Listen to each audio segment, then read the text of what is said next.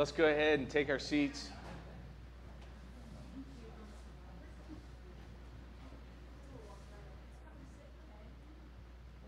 We have some we have some new sound people back there today. There he is. All right. Um, so the Mr. Mr. Mowry just left. He's going to Illinois to take care of some issues with his dad. Um, the Wilsons are gone because they're doing Colorado stuff. You what? You can't hear me? Well, there we go. There's a fine line between you can hear me and we don't want to ever hit that line. So um, we're really close to that line right now because every once in a while I get a little bit loud. So, um, so we have some missing people here. The Smiths aren't here. the Ryans. Man, you know, we spent money on air conditioning. There's no reason why they couldn't be here. What? What? What?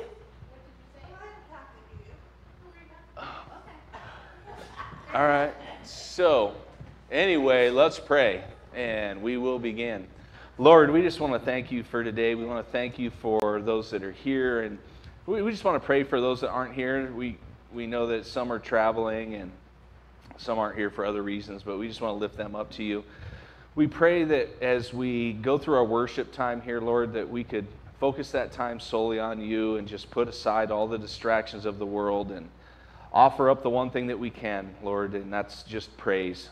Praise of you and praise of your mercy and your grace and all the things that you've done for us. And we just lift this time up to you now, Lord, in Jesus' name. Amen.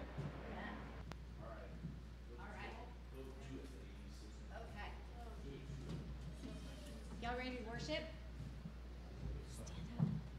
Stand up. You sound So- so red We are a small group today, but we are a mighty group, right? We're a mighty group. Right? You guys ready? Yeah, let's worship the King.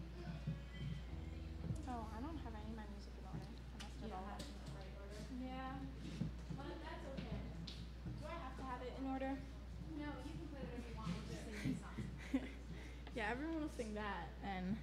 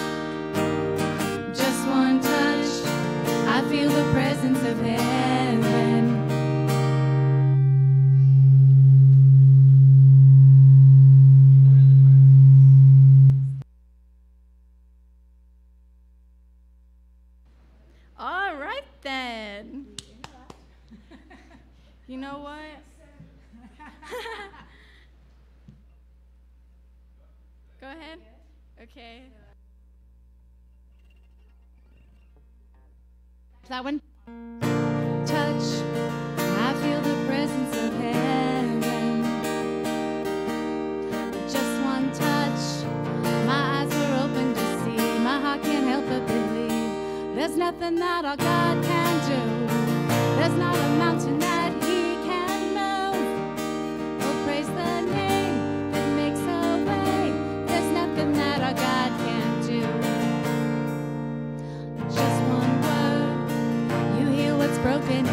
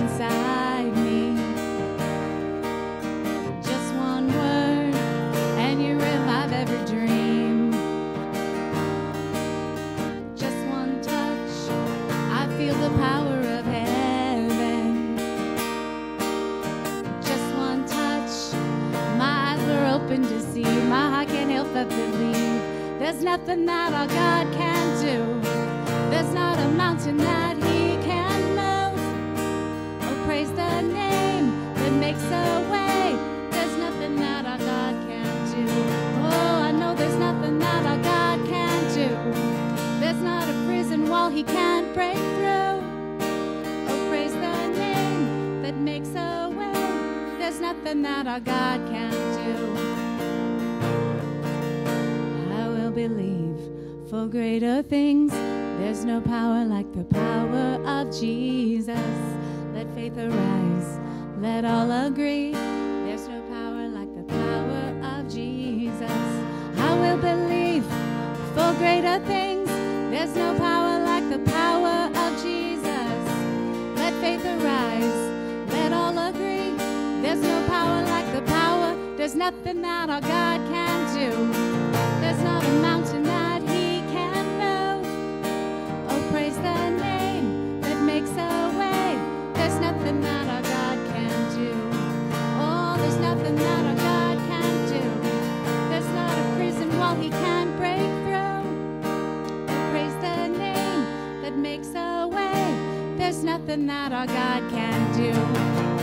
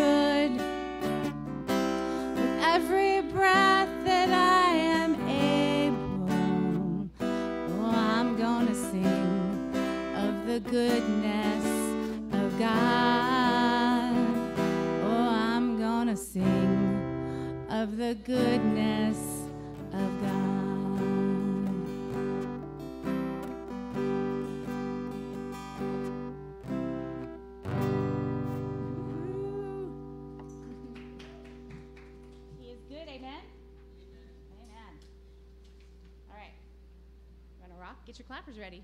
Y'all gonna clap with me? Danielle, come up here. Roll in. I can feel the winds they try to shake.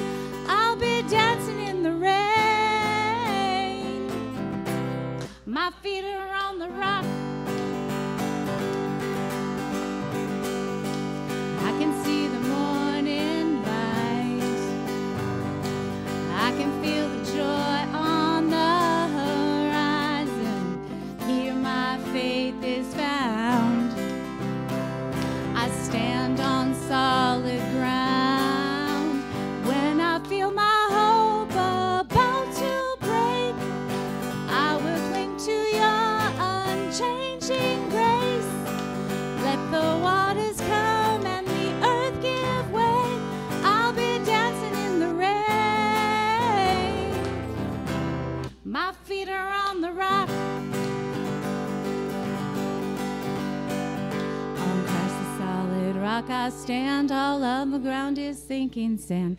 Stomp your feet and clap your hands, our feet are on the rock.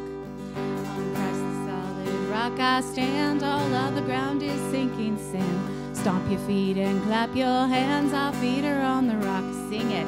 On Christ the solid rock I stand, all of the ground is sinking sand. Stomp your feet and clap your hands, our feet are on the rock. When I feel my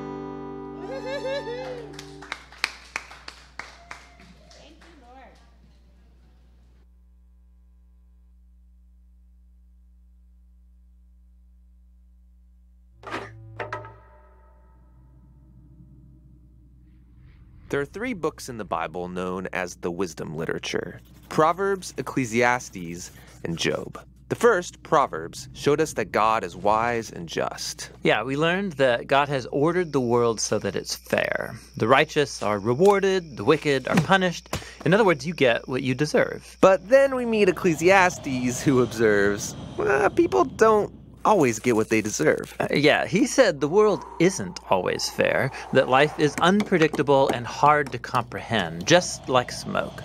And this makes you wonder okay, well, is God wise and just? Exactly. And so it's that question that is being explored in the final book of wisdom, Job. All right, let's dive in. So, Job begins with a strange story that takes place up in the heavens, which are described something like a heavenly command center. So, God is there with these angelic creatures called the sons of God, and they're all there reporting for duty. And God points out this guy Job, his servant, showing how righteous and good he is. And then one of these angelic creatures approaches. He's referred to in Hebrew as the Satan. The Satan. Who is this? Well, this word is actually a title, which literally means the one who is opposed. So, out of this whole crew, he is the one questioning how God is running the world. And he proposes that Job might not actually love God, that he's only a good person because God rewards him. If God were to take away all of the good things he gave to Job, then we would see his true colors. So he thinks Job is just working the system? That's exactly right. Maybe he's obeying just to get what he wants. So God agrees to this experiment and allows the Satan to inflict suffering on Job. And Job loses everyone and everything that he cares about. It is devastating. And remember, he deserves none of this. God himself said so. The remarkable thing is that in the midst of all this suffering, Job still praises God. At least for chapters 1 and 2. But then in chapter 3, we find out how he's really feeling inside. He unleashes this poem that reveals this devastation. It's a long, elaborate curse on the day that he was born. After this, some of Job's friends come to visit him to offer their help. And all of them are like, Job, you must have done something horribly wrong to deserve this. After all, we know God is just, and we know the world is ordered by God's justice and fairness, so you must be getting what you deserve. And for the next 34 chapters, the friends and Job go back and forth in very dense Hebrew poetry. His friends keep speculating about why God might have sent such suffering, and they even start making up lists of hypothetical sins that Job must have committed. But after each accusation, Job defends his innocence. And Job is innocent. He is. He's also on an emotional roller coaster. At some moments, he's very confident that God is still wise and just. Yeah, in other moments, he's doubting God's goodness. He even comes to accuse God of being reckless, unfair, and corrupt. So by the end of the dialogues, Job demands that God come and explain himself in person, and God does so. He comes in the form of a great storm cloud. Now, God doesn't give Job a direct answer. He doesn't tell Job about the conversation with the Satan. Yeah, he does something very different. He takes Job on a virtual tour of the universe. He shows Job how grand the world is, and he asks him if he's even capable of running it or understanding it just for a day. He shows Job how much detail there is in the world, things that we might see every day but really don't understand at all. But God does. He knows it all intimately. He pays attention to the beauty and operations of the universe in ways that we haven't even imagined and in places that we will never see. Then to conclude, God shows Job two wondrous beasts and brags about how great they are. Yeah, they are dangerous. I mean, they would kill you without even thinking about it. And God says they're not evil, they're actually a part of His good world. And then that's it. That's God's whole defense. It's kind of weird. I mean, what was this all about? It seems to be this. From Job's point of view, it looks like God is not just. But God's perspective is infinitely bigger. He's dynamically interacting with a whole universe of complexity when he makes decisions. And this is what God calls his wisdom. So, Job asking God to defend himself is actually kind of absurd. He couldn't comprehend this kind of complexity even if he wanted to. So, where does this leave us? Well, it leaves Job in a place of humility. He never learned why he suffered, and yet he's able to live in peace and in the fear of the Lord. But that's not where the book ends, because after this, God restores to Job double everything he had lost. And this, again, is surprising. I mean, is this a reward? Is God saying, Congratulations, Job, you passed this elaborate test? No, I mean, the whole book just made the point that Job losing everything was not a punishment, and so now getting it back isn't a reward. So, why does he get it back? Well, apparently, God, in his wisdom, decided to give Job a gift. We don't know why. But what we do know is that Job is now the kind of person who, no matter what comes, good or bad, he can trust God's wisdom. And that's the book of Job and the end of our wisdom series. These biblical books of wisdom are amazing. Each one offers a unique perspective on the good life, and you need to hear all of them together as you learn to live with wisdom and in the fear of the Lord.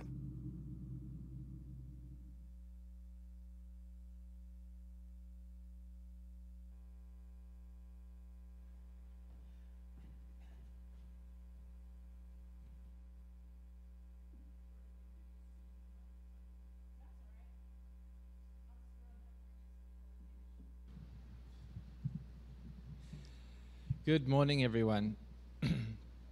um, it's announcement time, and then we're going to do uh, praise and prayer requests. So, um, first announcement is don't forget that we have a uh, box in the foyer for putting your tithes and offerings. Um, you can also do it on the website. Um, so, there are those two avenues of uh, giving to the Lord. Um, a second thing is I've been talking talking for the last two weeks, and this is week three, about rules and uh, roles and responsibilities. Uh, I still haven't had any volunteers, so I'm going to start voluntolding people. Um, so I will let everybody know what they will be doing next Sunday. Um, and then also next Sunday is the block party. Okay. And don't forget, next Saturday is my birthday party. It's an open house from 2 till 6 p.m. Um, there will be finger foods, um, gifts are not required. Uh, there will be shooting at some stage in the afternoon as well, so bring your uh, freedom sticks. your Second Amendment items. All right. Um, yes. Yes.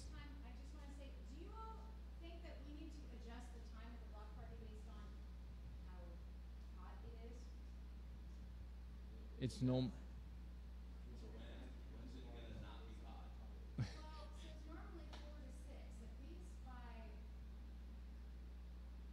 if we change it till six to eight, you're thinking? Right.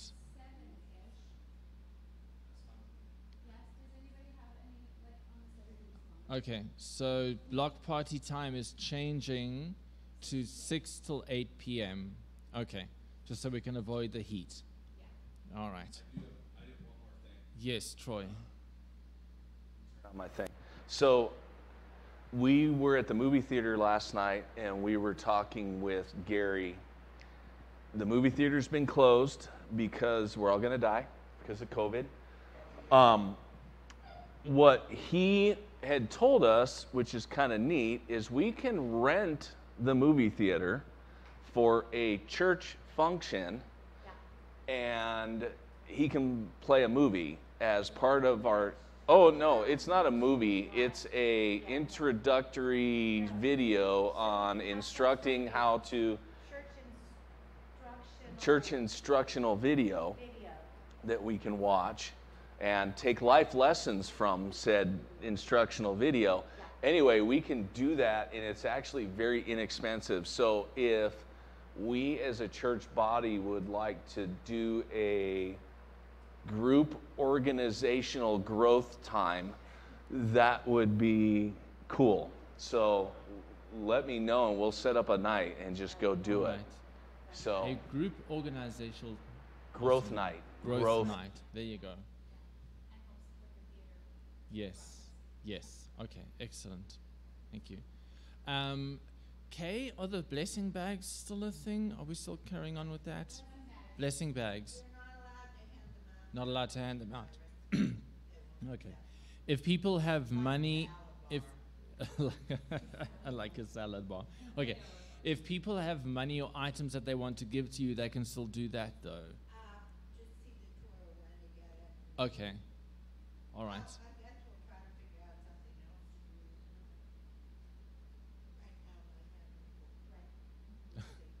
Okay, so it's temporarily paused. Hopefully, it will resume again later. Okay. All right. Yes? Okay. All right. We'll wait for your direction on that. All right. I think that's all the notices. I can't think of any more. Okay. Um, praise and prayer. Does anyone have any praise? Yes, Zachary.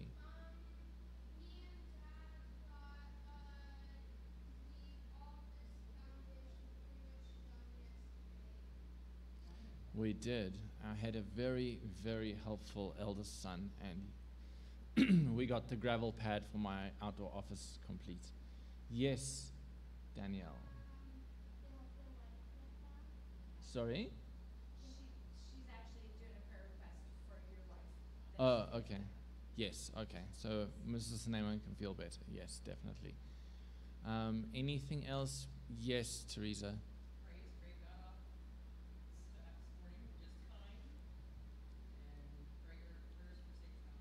Okay, so Greg got off fine. Um, by the looks of things, the Wilsons also got off fine. Sorry? Okay, so so that's good. Yes, Josiah.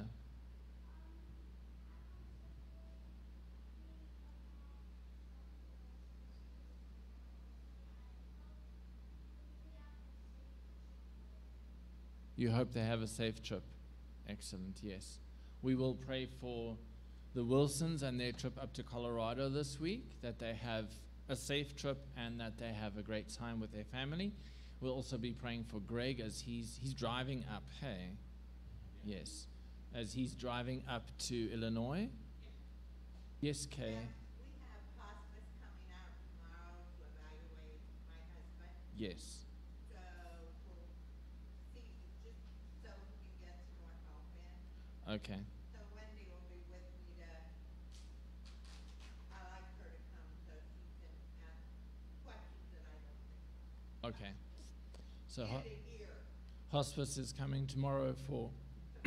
the elder Mr. Cameron.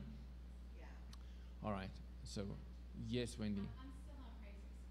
Yes. Everybody who has not met them, this is Daniel. I'm his lovely new wife, Kim. Daniel is Kay's grandson, Troy's nephew. And so we're, we're happy to have them. It's a short visit, just a, just a couple of days, but we're happy to have them here, so that's a praise. Travel safety for them, and it's nice to actually see them all. But here. Yes. And Jonathan too. We have the whole Cameron family here. That's really awesome. Lots of Camerons. Great to have them all here. Yes. Um, yes, Sarah. Yes. For Jenna's grandfather, yes. Uh huh. Uh huh.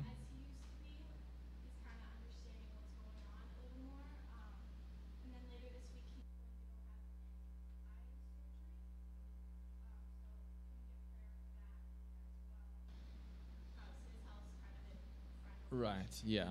So praise that he's doing better, prayer that he continues to, be, to do better, and prayer for the eye surgery. Okay. Yes, Wendy. Um, isn't Sarah's uncle being transferred to New Mexico this week? Did anybody else? Yeah. Sarah, is your uncle being transferred to New Mexico this week? I'm just asking her. She is watching, so I'll. I've got. yeah, we will. Um, we will. Yeah. Also, we'll pray. Continue praying for Uncle Dan. Um, I think we need to also pray for Josh, Josh specifically, and Kristen. Uh, Josh was at a fire yesterday afternoon in 104 degree heat. He had smoke inhalation. and he's feeling really sick. So we'll pray for pray for Josh as well. Um, I'm just waiting to see if we get any feedback from the Wilsons. Anything else? Yes, Teresa.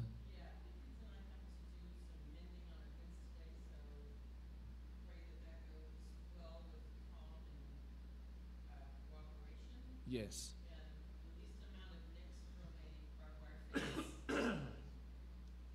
So pray for uh, the remaining contingent of uh, Maoris for mending the fence this afternoon. Um, the least amount of nicks, I think, both on a uh, interpersonal level and on a physical level.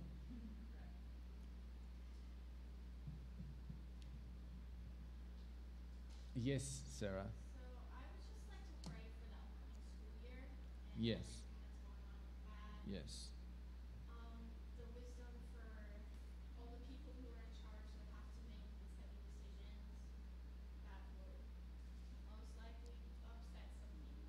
To. Yeah.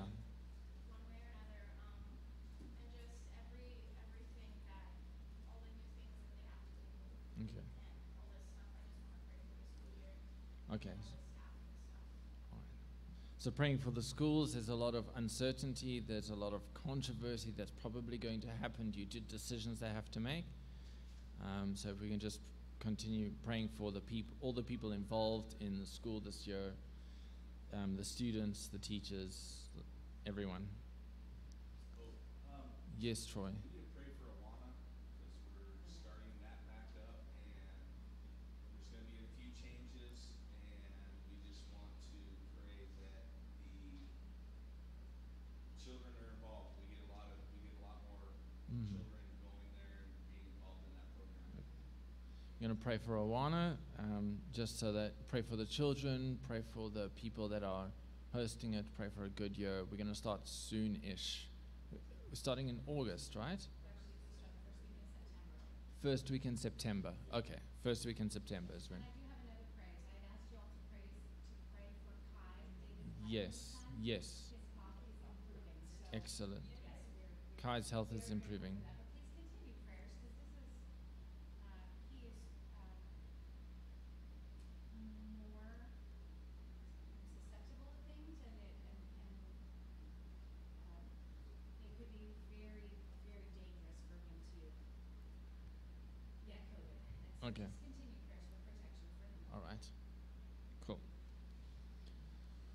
I haven't received any word from Sarah Wilson yet on Uncle Dan's, so, but yeah.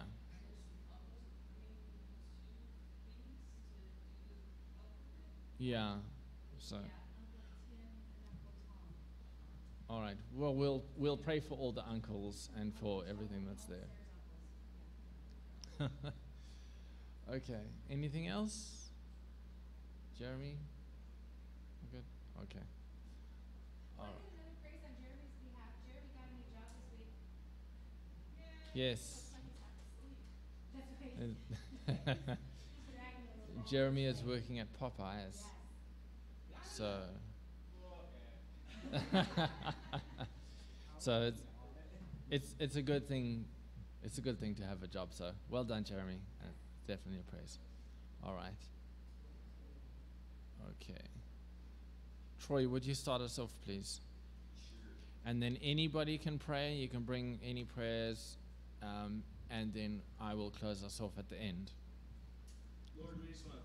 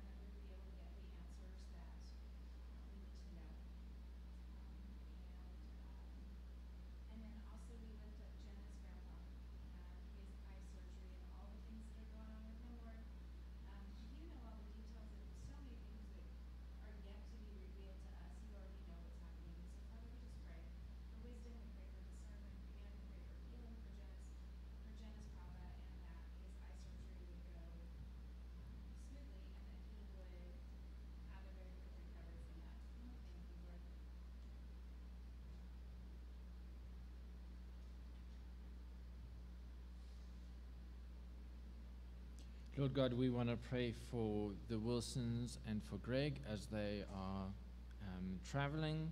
We pray for travel mercies for them. Pray that they would have uh, good trips, um, no issues along the way. Um, Lord, we pray for Greg and the issues he has to sort out up in Illinois with his dad. I pray, Lord, that you would you would have your hand, continue to have your hand on that situation you would uh, make sure that the right thing happens, make sure that justice happens. Um, and we thank you, Lord, for the blessings that you have laid on Greg and on his family so far. Lord, we want to pray that the Wilsons have a great time with their family up in Colorado. We thank you that uh, that we can all have times with family. We thank you, Lord, for the Camerons, the extended Cameron family that is visiting today. Um, we thank you for um, for that family time. Uh, Lord God, we just we also want to just continue praying for um, Uncle Dan and the situation over there. Um, we pray that you would continue to help him to heal, um, help the family to deal with with the with everything around that. I know that they were moving him back to New Mexico, and I pray that that would be smooth. Um, I pray that the family would would come together and rather than fighting, that they would have unity. Um, that, and Lord, that through all of this, that that your glory would be shown to them. Um, I thank you, Lord, again for the freedom that we have in this country to uh, to worship you, and I pray, Lord, for those around the world, our brothers and sisters that don't have that freedom um, that are being persecuted. I pray for strength for them, um, and I pray for your, your blessing on your church around the world. In Jesus' name, Amen.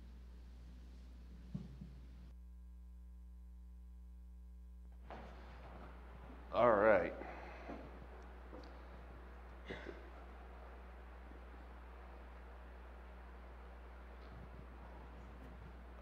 I had to put that back for my wife so she doesn't, because she's short. I didn't want to say it like that. How y'all doing? You guys doing good? Everybody wake up. Wake up. Ah! Those are my glasses. Um, so, last week, we started to look at 1 Corinthians chapter 11. It's basically two different sections. Um, we dealt with head coverings last week, the titillating subject of head coverings. This week, we're going to look at the Lord's Supper. Um, if you remember from last week, it was really more. Uh, there was. It was really more than just about head coverings. The women were riling up the men by trying to usurp the men's authority in the house. And we compared that to what we see today in the gender neutrality movement.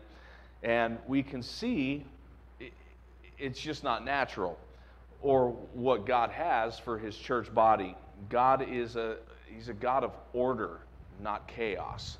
And we also learned that this was leading to real contentiousness within the body of, of Corinth. Um, of course, it was. There were people doing what ought not to be done, and there was, there was those who really cared about what was happening in the church that were really getting upset about it. Uh, Paul's going to kind of continue with this theme as we finish chapter 11. He's not going on with head coverings, but with the Lord's Supper people were again doing this in a way that they shouldn't be doing, and again, there was contention. We, we see this today. There are some who come here to worship, and there's a lot of people that come here for other reasons. We're going to look at three parts today. Um, we're going to look at division, communion, and judgment. And why was there division? What was the point of the Lord's Supper and communion? And how do we properly judge ourselves so that we are ready to receive what God has for us? So please stand as we um, read God's word. We're going to be reading from 1 Corinthians uh, chapter 11. We're going to be going th- from 17 through the end of the chapter here. But in the following instructions, I do not commend you, because when you come together, it is not for the better, but for the worse. For in the first place, when you come together as a church, I hear that there are divisions among you, and I believe it in part. For there must be factions among you, in order that those who are genuine among you may be recognized. When you come together, it is not for the Lord's Supper that you eat, for in eating, each one goes ahead with his own meal. One goes hungry, another gets drunk. What? Do you, have, do you not have houses to eat or drink in? Or do you despise the church of God and humiliate those who have nothing? What shall I say to you? Shall I commend you in this? No, I will not.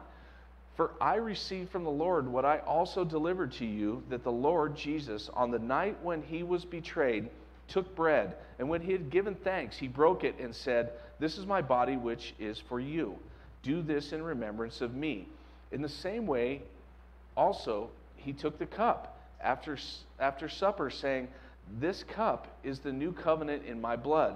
Do this as often as you drink it, in remembrance of me. For as often as you eat this bread and drink the cup, you proclaim Lord's death until he comes. Whoever, therefore, eats the bread and drinks of the cup of the Lord in an unworthy manner will be guilty concerning the blood, the body and the blood of the Lord. Let a person examine himself then, and so eat of the bread and drink of the cup. For anyone who eats and drinks without discerning the body and drinks judgment on himself. That is why many of you are weak and ill, and some have died. But if, you, if we judged ourselves truly, we would not be judged. But when we are judged by the Lord, we are disciplined, so that we may not be condemned along with the world. So then, my brothers, when you come together to eat, wait for one another. If anyone is hungry, let him eat at home, so that when you come together, it will not be for judgment. About the other things, I will give directions when I come. Amen. You may be seated. Division. Why do we have division in our churches today? There's a couple of really good reasons we see division. Um, none, none of them are good, but it's important that we know what they are so that we can recognize them. First, let's be honest with ourselves. There are some that truly don't want to be here. Um, and, and there's ones that truly do. You're going to have division between those two people. We also see that maybe you have somebody who they're here because their spouse drug them here. They didn't really want to come, but their husband or wife just nagged them into coming. No, I'm not looking at anybody in particular. um, maybe kids, maybe you don't really want to be here, but your parents drug you here, right? I, I know that there's some out there, and I know that that happens. W- whatever the reason that they're here, there's 150 other places that they would rather be right now. So I'm sure you could see why there would be a division between those two groups of people. Secondly, you see a division between people who are ultra legalistic and you see people who are totally liberal. And one group wants everyone in a suit and tie, and the other, you know, in long dresses for the women, and the other ones are like shorts and t shirts and flip flops, and who really cares, right? Um, one group values being super comfortable, sometimes too comfortable, and uh, others focus on reverence. And you could see why you'd have division between those people. Thirdly, you have people that preach hellfire and damnation. We're all going to die. And we have those that preach grace. You have your Calvinists, you have your Arminians, you have your long day people, you have your short day creation people. There are so many different things that divide us as a body. And, and that's one of the reasons that I'm so particular and serious when it comes to properly dividing the Word of God. There's a lot of division out there that's from just flat out bad teaching. Just look at what we've learned so far just in the book of First Corinthians. You, you had people coming in and teaching that the Corinthians, after becoming Christians, that they still had to follow the laws of Moses. You had people that were coming in and teaching different types of idol worship. You had people who were teaching that um, there was these different pagan gods that they should follow. Should we follow Paul or Apollos? All of this stuff was going on, and Paul's coming in now to correct that. You remember, these people did not have Bibles, okay? We, we do. There's really no excuse for bad teaching in today's society because we have God's Word written out. We just have to remember that there's a proper way to interpret Scripture and there's a wrong way to interpret it. How, how many of you guys have heard, well, that's how you interpret Scripture? You guys ever heard that?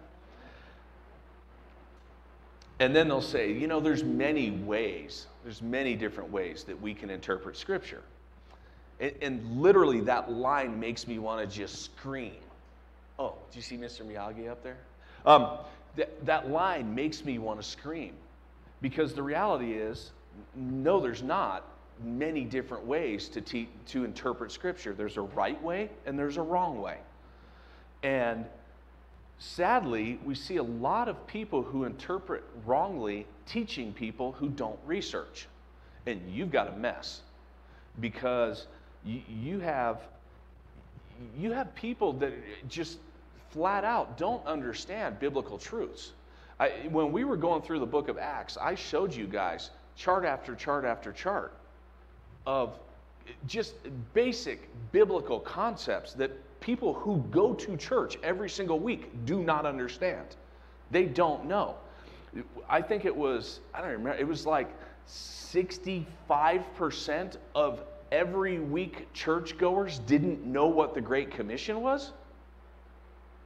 That's just bad teaching. That's all that is.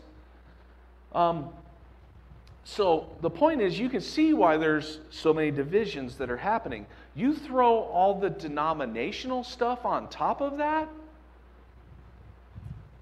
and you can see why the body of Christ is an absolute mess. And you can see why Paul, even in the early church, in the, in the, in the Corinthian church, um, you can see why even they had the same issues that we do today. Our, ours is on a way bigger scale. Um, because there's so many more people and there's so much more division. There's so many different denominations and so much stuff going on now. But Paul was chastising them because when they were coming together as a body, there was still division there. And I, I just asked the question how do you think Paul would come into the church in America today and chastise us? It, it, it would be pretty, it'd be pretty embarrassing, really.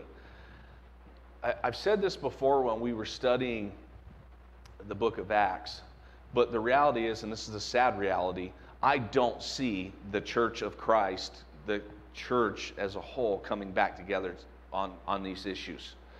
Um, instead of standing firm on the truth of God's word, many are standing firm on a denominational viewpoint or um, basically just whatever religion that they follow and I'm, I'm unwilling to compromise um, on truth. So there's bodies that are divided.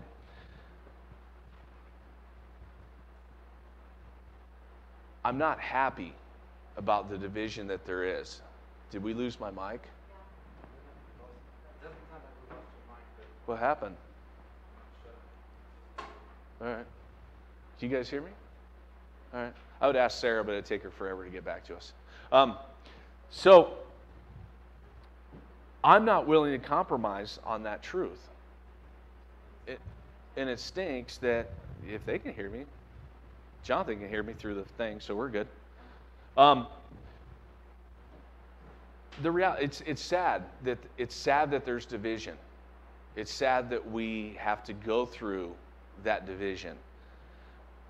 But I, I'm never going to just stand up here and tickle your ears so that I can have you all go, yeah, agree with him because what he's saying is totally compromised and it sounds great to us. That, that's not that's not what my job is. My job's to rightly divide the word of truth and to give it to you guys. And I, I won't ever compromise that. If you have time, turn, turn over real quick to 2 Timothy chapter 4. Actually, you don't have to, it's up there. Um, somebody jumped the gun. Gun jumper. Um, I charge you in the presence of God and of Christ Jesus, who is to judge the living and the dead, and by his appearing and his kingdom preach the word. Be ready in season and out of season. Reprove, reprove rebuke, and exhort, and co- with complete patience and teaching. For the time is coming when people will not endure sound teaching, but having itching ears, they will accumulate for themselves teachers to suit their own passions, and will turn away from listening to the truth and wander off into myths. As for you, always be sober minded, endure suffering, do the work of an evangelist, fulfill your ministry. This is the problem in the church today. The vast majority of churches are looking for somebody to teach them what they want to hear, not the truth. I can tell you, I can tell you pastoral search committees that flat out say, we want somebody who's going to teach us what we want to hear. Th- that's not the church, guys. A- And the problem that you run into is that there are those serious about the church and the message uh, and the work of the gospel, and those two conflict. They fight with those who don't really care. That, that's a big problem that we have in the church today. You guys see, and, and I know that every single person in this room and those at home have seen people who have watched their pastor compromise on biblical truths. They've seen it happen, and they still stay there because, well, I love my church family. Well, if the guy up front's teaching you garbage, I don't care how much you love the people, you can't stay there. Paul is having a real issue with division in the church for a reason. I do too. I won't, uh, you guys, I will never understand. Because one of the first things that I talked about was people coming here who don't really want to be here. That makes no sense to me. Literally, makes no sense to me. You come to work, or you come to church week in and week out to listen to me blab on about something you don't care about. Why are you here? What's the point? And then those people that don't want to be here, they'll argue with people in the church about stuff that they've heard. I'm sure that there's a PlayStation 4 or a Wii you should be playing at home. There's no point in being at a church body that, that you don't believe anything that the pastor says and you don't care to. It makes no sense to me. We don't want to come to this place because we have to. We should come here because we want to. This place is supposed to be like family. You know what? Family has disagreements. But families built on a solid foundation work through issues in love. That, that's, that's what the body is supposed to do. And we don't I, I, I had this conversation with a dear friend of mine the other day who's having problems with her pastor at her church. And she says to me, You know, what do I do? You write a letter or you talk to him. You don't just ignore it and let it just go away. You deal with the issue. Now, if it doesn't get dealt with in the way that it should, or how you feel comfortable that biblically it should be dealt with, leave. Find a church where the, where the pastor deals with things in a biblical way. But, but we don't do that. You know what we just do? We just go there and go, well, you know, I'm okay with that compromise. I'm fine with that. It, and it just keeps building and building and building. And if you have any soul, if you have any biblical truth, eventually you just snap because you can't stay there. When somebody's doing something that you know's wrong, you get to. I, I, I told somebody this the other day. I said, You're always going to look at that pastor now and go, Is he telling me the truth? Because if he's willing to compromise on this, what else is he willing to compromise on? And you don't really know. And it's something that you have to sit there and go, Am I willing to do this? That's what Paul's got issues with. How can you sit there and just keep doing the same thing over and over and over again when you know it's wrong? So Paul gets into his second rebuke here. These people were not being respectful of the Lord's Supper. What we see described here in our text is basically a bunch of potlucks that have gone wrong. Okay? This would have easily, easily been fixed by having Baptists run the whole thing. we, we all know that. First, you'd have order and you'd have no drinking, and it would all be solved, right? I'm kidding, of course, but this was a real issue. The early church had what they called love feasts or charity feasts, okay? And it basically was. It was kind of the same concept as a potluck. They would come together as a church and they would eat a meal.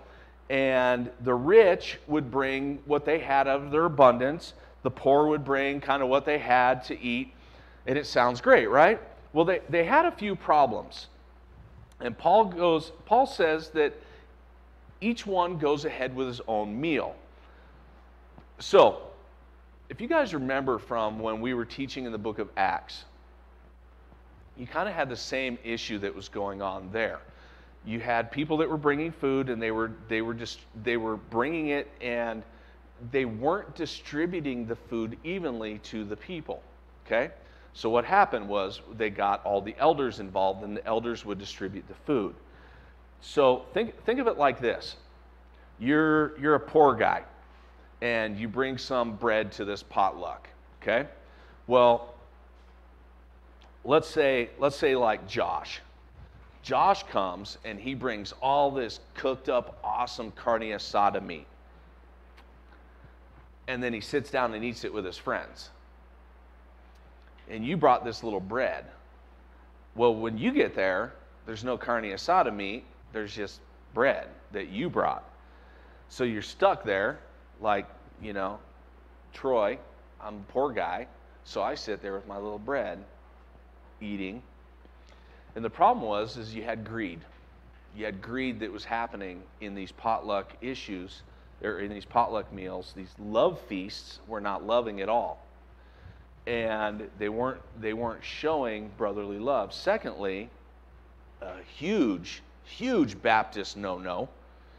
They were getting drunk they obviously did not have a potluck committee. You needed a couple older ladies with some wooden spoons there keeping everybody in line. And this problem would have been solved real quick. But what was happening was your rich were basically turning the church into a social club where the elites would eat together and they would party like it's 99. See what I did there? The rest would just go off and sit by themselves eating crumbs. And it's a horrible look and a bad representation of Christ. They miss the whole concept of love, feast, and sharing, and they weren't, they weren't dealing properly with what the Lord gave them. So, the worst part of it was they missed the opportunity to show the love of Christ. Okay? So, We don't need a potluck committee to show that treating people with respect and honor is important. We know that we shouldn't be getting drunk in the first place, let alone at church. So, Paul's issue here is what kind of a horrible witness is that?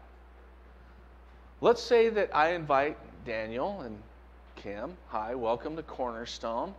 We're going to be having a party over here. There's going to be kegs and all kinds of cool stuff when we're done. And they're like, whoa, whoa, hold it. This is like a church, right? That's what we're dealing with. So, the third point, and this is kind of the big one, is that they intertwined communion into this mess of, of a fellowship meal. So, this was the Lord's Supper that they were doing this at, right? Fellowship with your brothers and sisters in Christ is really important. How we conduct ourselves in love towards one another is important. Proper communion practices and reverence to that practice is important. Most churches, every church I've been at, does separate communion from their potluck, feast a lot because of this.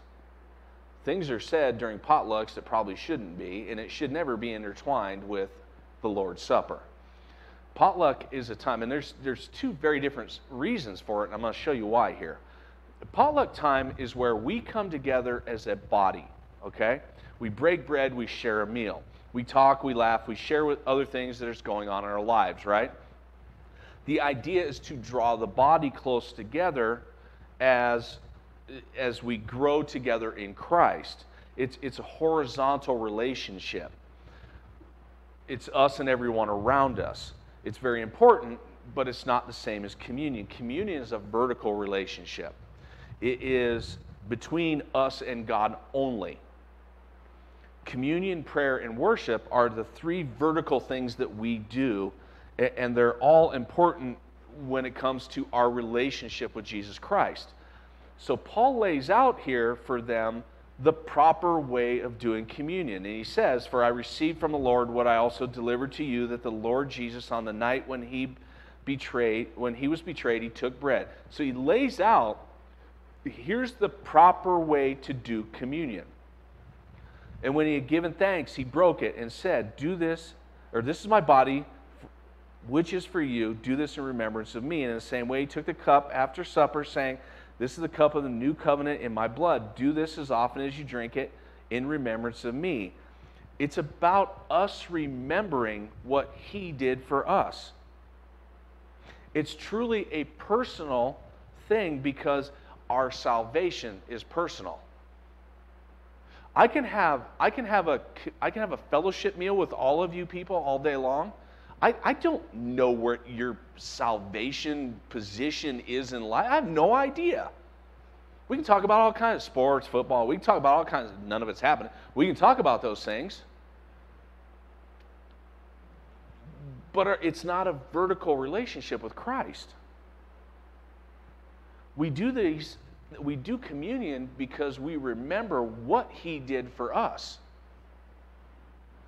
Paul's warning is for them to remember Christ in a way that is worthy. So, our last point is judgment. Paul says when we do communion in an unworthy manner that we bring judgment on ourselves. If any of you happen to read this in the King James Version, you're going to see a pretty major translation error. The King James Version says that you drinketh damnation to yourself. Paul talks about temporary things like illness and, and weakness.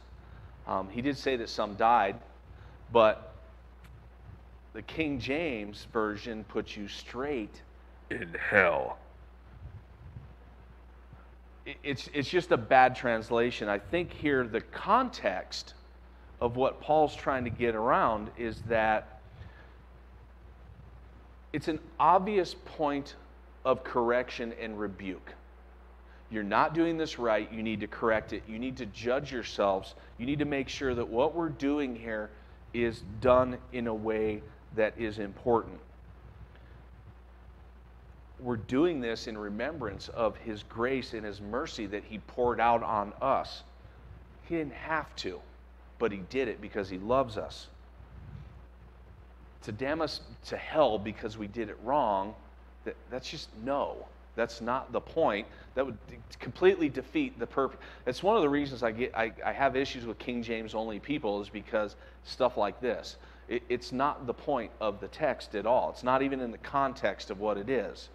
Paul's warning is to judge ourselves truly.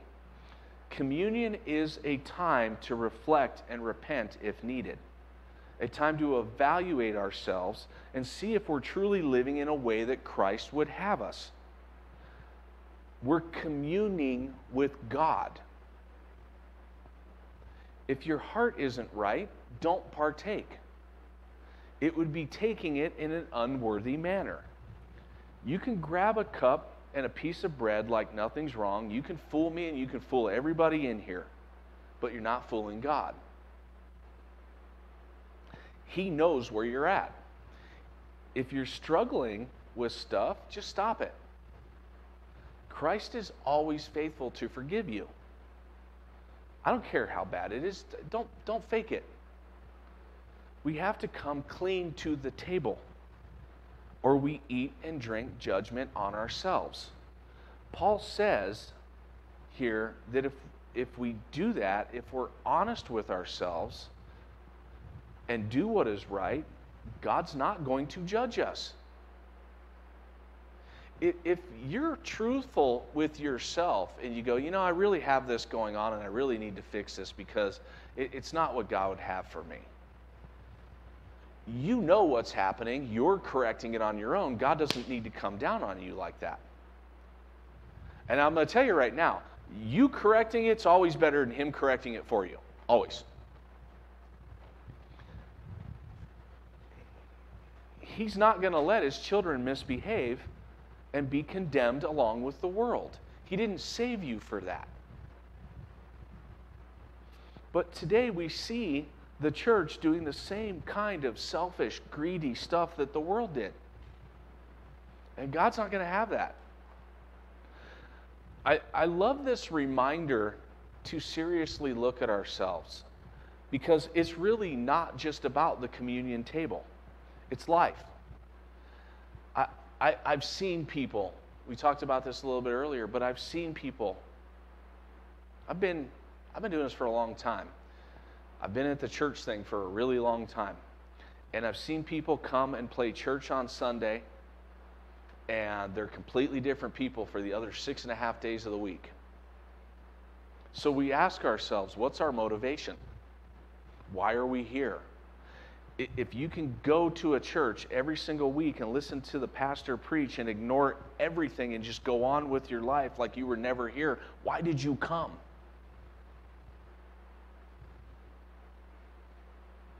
You need to reflect. Our heart is precious and it needs to be sold out for Him. If that's not your desire, what is? We really need to check that. I love this C.S. Lewis quote. Said, "May God's grace give you the necessary humility. Try not to think, much less speak of their sins. One's own are a much more profitable theme."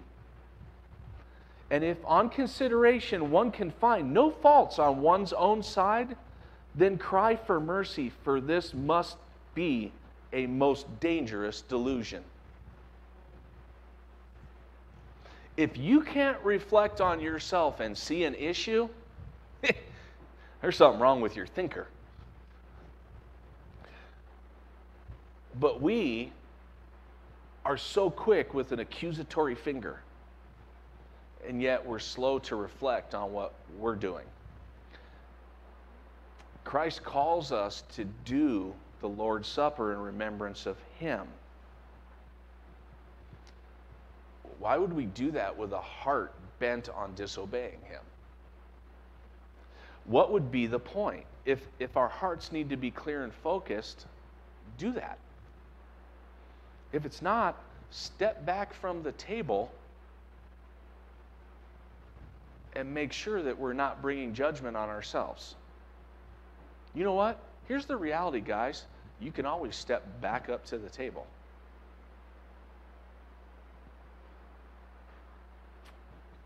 And, and I'm not like some churches where you're not worthy, you're not worthy, you can't do this because you did this. And it's, you know what? You're grown, you're grown people.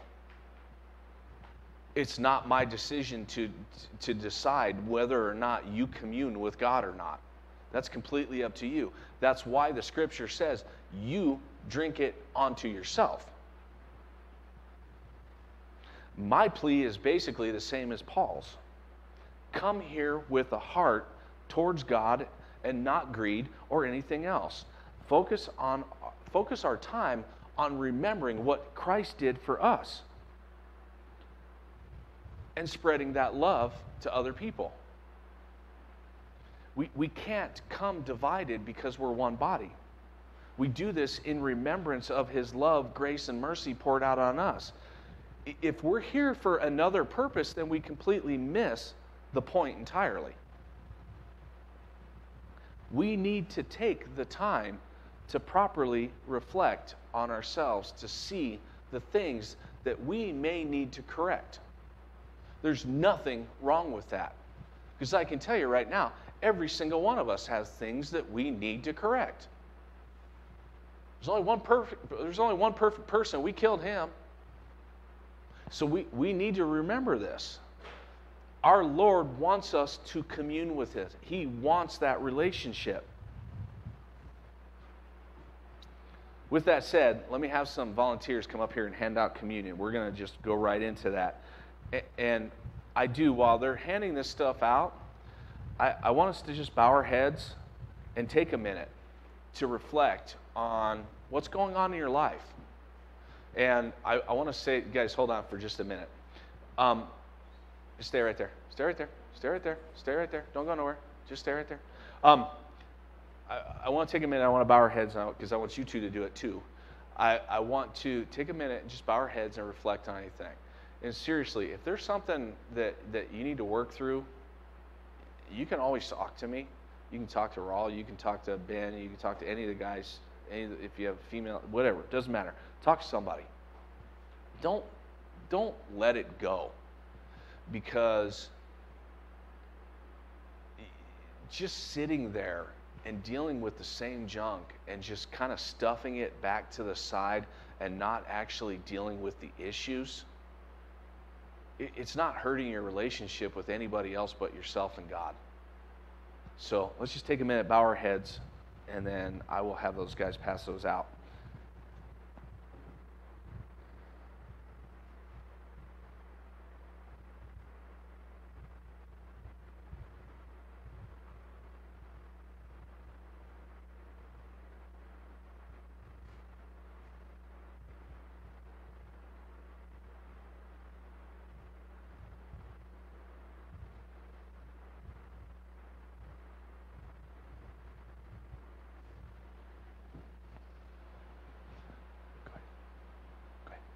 Go ahead and pass these out.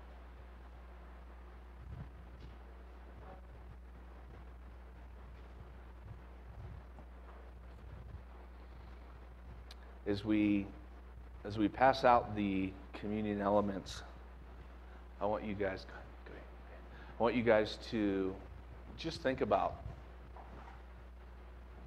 are we are we coming to the table correctly?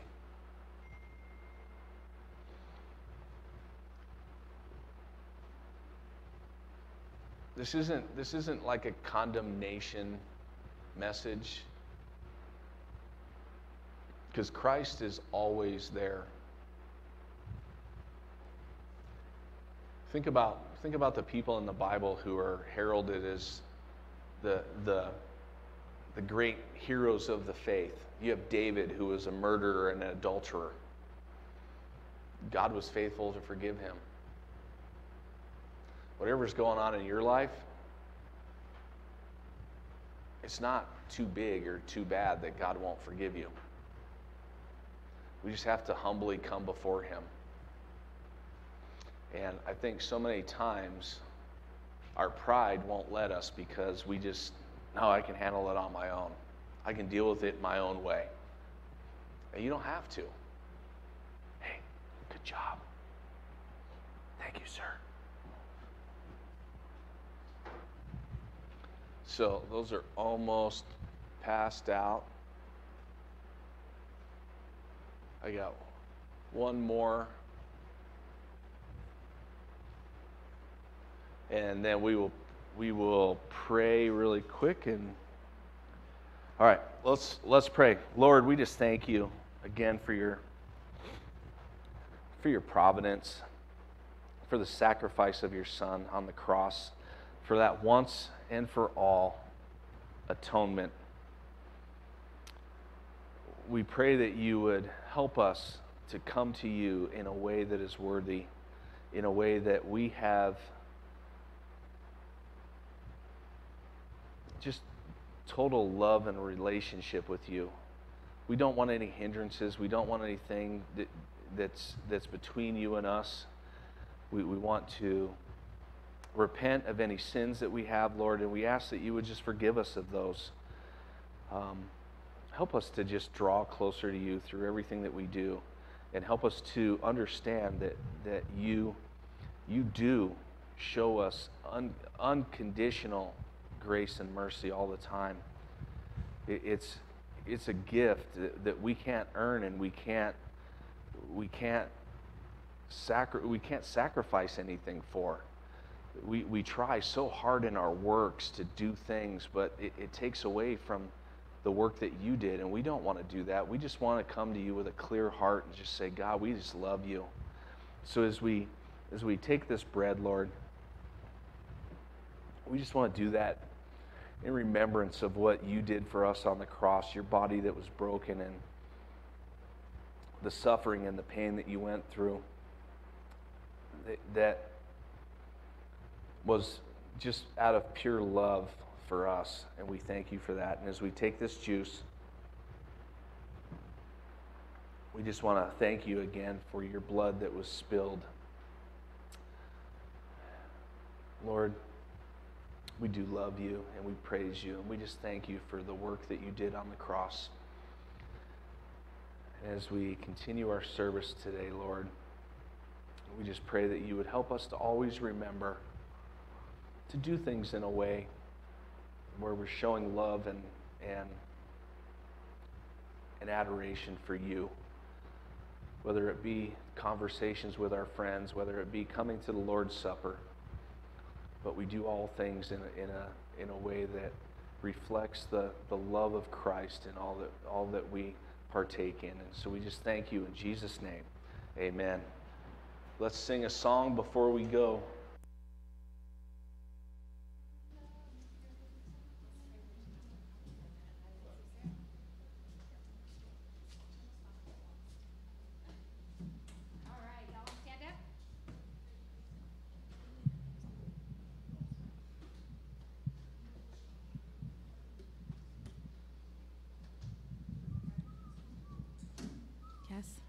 Good?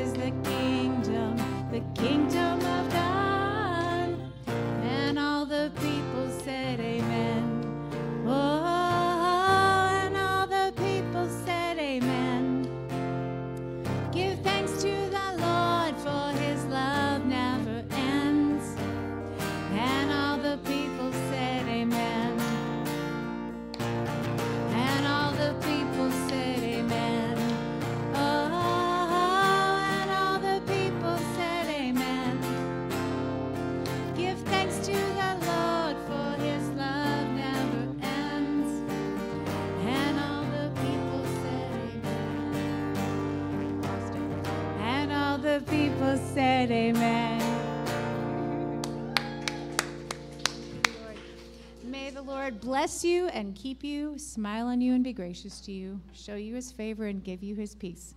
Y'all have a blessed week. And remember, block party next week. Invite your friends.